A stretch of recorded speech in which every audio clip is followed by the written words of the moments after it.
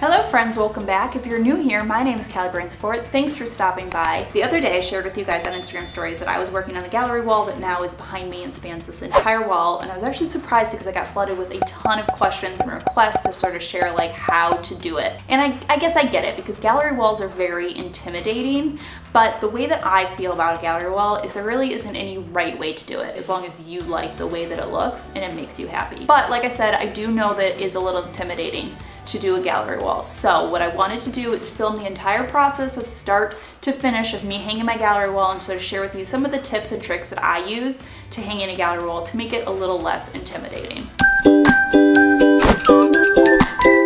Say the majority of the questions I got came down to picking the art. So I'm gonna break down how I pick the art into a couple of categories as well as where I get art. So first thing comes down to size. Personally, I like to have a variety of size. I think that it just adds interest to the gallery wall. So I like to have a, a mixture of small pieces from like as small as 4 by 6 to large pieces like bigger than 11 by 16. And one tip that I like to suggest is always pick one anchor piece. This is one piece that's like pretty large. Something that I commonly see with gallery walls is people picking pieces that are too small for a wall that is too big and then it starts to look a little bit puny. So really try to step out of your box a little bit and get something a little bit large. And then one other thing I always like to suggest is consider maybe getting one or two things that aren't framed. Things like pennants or something that's circular or just something that's a little bit different. These can be a little bit harder to work with and to mix in, but I do think that they add a lot of interest to a gallery wall.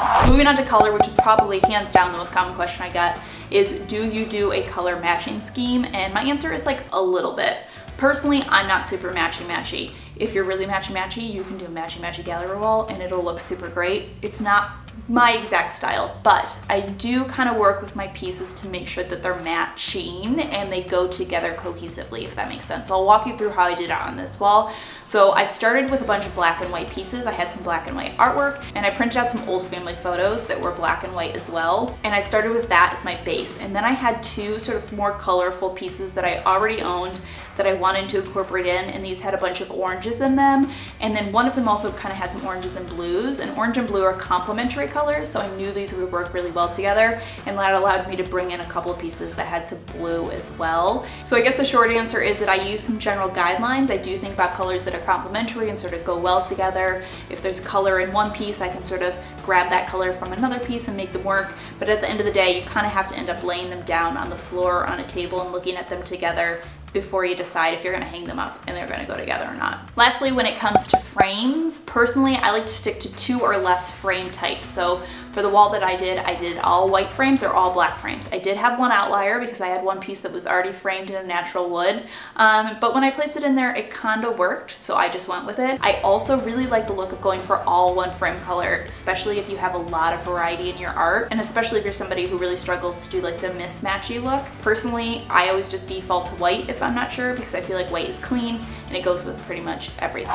Okay, so where do I get my art and where do I get my frames? Now, as far as art, I get it a couple of places. One, majority of my art comes from travel. Art is what I get as souvenirs when I travel. Um, I like it because it's easy to travel with and I like hanging it up in my house because then it's like a really nice way to like always remember the place that you went. Also, you can usually get it for not crazy expensive. Sometimes when I've been traveling, I've bought like original artwork, but other times a little trick that I like to use, um, you can actually just buy a postcard. I know lots of postcards are super touristy. They're like a photograph or like, you know, obviously a postcard. But if you really keep your eye out when you're traveling, you can often find postcards or gift cards that are done by local artists that are local scenery. These cost a couple dollars. You bring them home, you put them in a nice matted frame and they look like artwork. And this is a great way to collect some artwork for your home. As far as buying art, especially for filler pieces. I did need some filler pieces for this uh, gallery that I, you know, I just didn't have enough artwork. I like going to Etsy.com. You could buy printable um, downloads, so it's only like four or five dollars, maybe tops 10 or 12 dollars, and you get the PSD file, and then you can print it out at Staples or at Shutterstock. Um, and this is great because Etsy has so much digital artwork So you can get pretty much anything that you're looking for and then you can print it in whatever size works for you, which is really great when you're working with a gallery wall. You might need something smaller or something bigger. So it's just really great, like I said, for filling in pieces. Another place that I really like to buy um, more kind of fine art is minted.com. Minted.com is all independent artists and then they sell their prints. And the nice thing about Minted is you can just like buy them framed. They are a little bit more expensive, but it's really nice because you're getting it from an independent artist. You can know a little bit more about the artist um, and the frames that they come in are super high quality. So if you want to add in a few nicer pieces, that's another really great place to shop. And then as far as frames, the majority of my frames I usually buy uh, at Michael's um, either in the store or michaels.com. You can get them in every shade. You can get them with a mat, without a mat. But these are all gonna be standard frame sizes. So if you do have artwork that's like an unusual size and you need to have it custom framed, personally I really like Framebridge.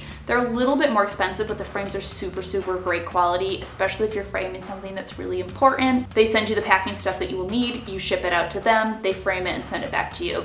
Um, so it's really easy. All right, guys, it is time to move on to the fun part, but also the intimidating part, and that is arranging your gallery wall. So let me walk you through my steps. Step number one, map out your space on the floor. I like to use painter's tape and I map out the width as well as the height of the floor. So I, I map out the space that I wanna fill so I know where I'm working. I like to work on the floor because you can really move stuff around. You'll see in my process, I move stuff around a lot as I'm figuring out what I wanna do. Step number two is start with your anchor piece. Like I said, it's really nice to have one big anchor piece because um, it makes it really easy to work off of it, if that makes sense, as opposed to trying to start with all of your little pieces. So place your anchor piece first and then work off of that. Next, I just start placing things. Um, personally, I like to try to work in columns because that kind of works in my mind. And sometimes something will span two columns, but I try to work in general columns because it makes it easier to place things and I kind of am just moving stuff around. The nice thing about doing this is there's no commitment, just keep moving stuff until things start to look how you like.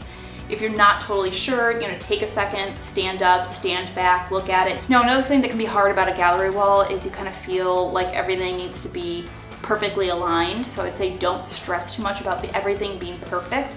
A trick that I like to use is I will align everything along the top. So everything is aligned along the horizontal top. And then as I go down, it doesn't need to all like end at the same spot. It kind of like tapers off. Final note is make sure that you're not spacing your photos too far apart. I'd say one of the bigger like mistakes I see, or I know one of the big mistakes I used to make when I did my first few gallery walls was putting way too much space between the frames. It makes them feel like they're not part of the gallery wall, like they're just not part of like one cohesive unit. The cool, impactful thing about a gallery wall is that all of this piece of art kind of becomes one piece of art together, if that makes sense. And if you're spacing them too far apart, you don't get that effect. Final step is it's, time to hang. You've laid everything out, like how it works, now you need to get it up onto the wall. I have four steps that's going to make it pretty easy for you.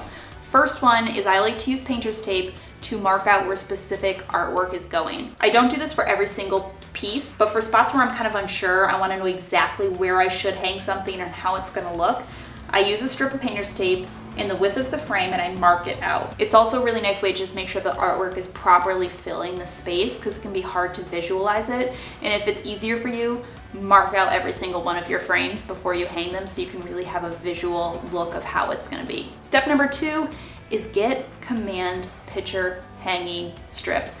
These things are so amazing. I've used them for multiple years, never had a frame fall down, I've never damaged a wall using them.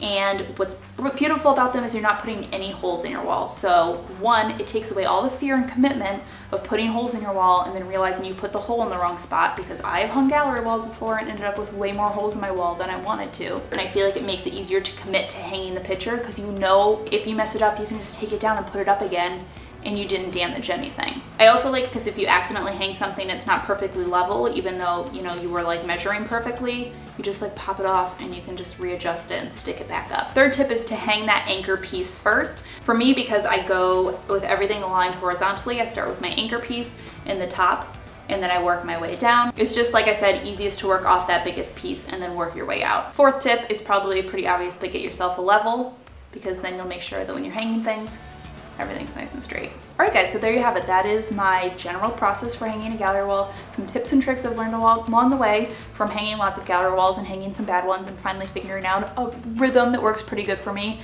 I'm not like a professional interior designer. Somebody could probably do this a million times better than me, but this gallery wall makes me super happy. I love the way it looks in the space and it's full of like art and pieces that mean something to me and I love that about it. Okay, I'm just gonna pop into my questions on my Instagram stories really quick and make sure I didn't miss any gallery wall questions. The first one is what are a few must-have elements for a gallery wall? I would say, like I said, at the end of the day, I don't think there's any right way to do it.